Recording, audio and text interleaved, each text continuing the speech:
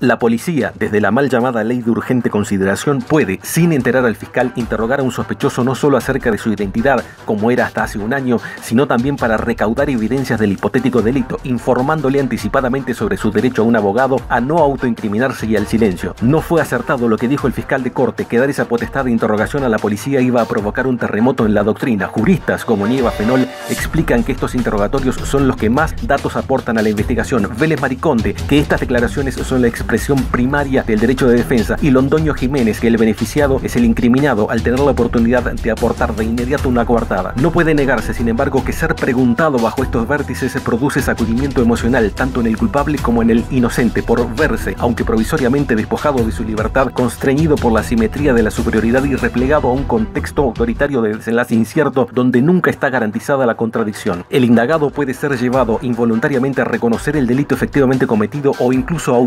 falsamente para pausar la presión del aprensor. Dice Roxen que esa primera declaración policial supone un peligro para el principio nemo tenetur se ipsum accusare y el investigado puede ser fácilmente sorprendido volviéndose su confesión accesible. Debo precisar, no obstante, que primero, un relato confesorio en la comisaría no es técnicamente una confesión, pues la autoincriminación solo alcanza ese tilde cuando es judicial. Segundo, solo servirá como indicadora de evidencias y nunca como prueba, sin que tampoco valga el testimonio del policía que la presenció. Cualquier ilegalidad en esta instancia degenerará la interpelación en una pesquisa secreta e infectará los indicios resultantes, activándose su exclusión.